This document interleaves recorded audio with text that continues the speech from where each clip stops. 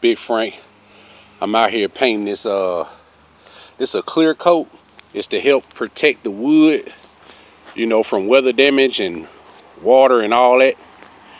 So this is what I'm out here doing today. I cleaned some windows earlier at the CBD place uh, over there in the crossroads.